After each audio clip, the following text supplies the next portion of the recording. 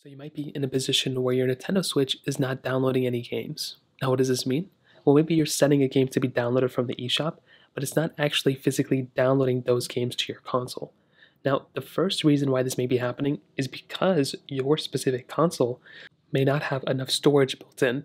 So the first thing I'd recommend doing is going through, clicking on your system settings right here, and basically scrolling down into data management and just seeing how much storage you have left. If you're like almost out of storage, that is basically the reason why you're going to run into this issue. So just go through and make sure you save as much storage as possible, and that would probably end up fixing the problem for a majority of people out there. Now, let's say that doesn't work. The next thing I'd recommend doing, and this is a big one, check your internet connection. If you are like how I am right now, I don't have any data, you know, maybe I'm out of signal, maybe my Wi Fi connection is not working, whatever the case is, whatever issue you're having, you just want to make sure that that issue isn't the internet connection because usually if it is, that's probably the reason why you're having that issue.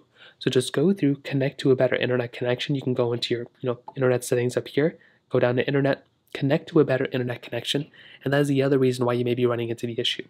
Now, if you're still running into an issue, you want to make sure that Nintendo eShop or Nintendo services aren't down either you can go to websites like downdetector.com or some other websites like that, and that will also probably go through and help alleviate this issue. Personally, like I said, I've had tons of issues like this, and you might just want to make sure you don't have an issue like that too. Ultimately, if that's still not working, you can power down or restart your you know specific Nintendo Switch, putting it into sleep mode, doing whatever you need to do. But those are pretty much the main ways to fix it. If you have any other thoughts or questions, let me know in the comment section below. Hit the like button on me so much, but definitely hit that subscribe button. More importantly than everything else, I love every single one of you guys. Hopefully I'll catch you guys in the next video.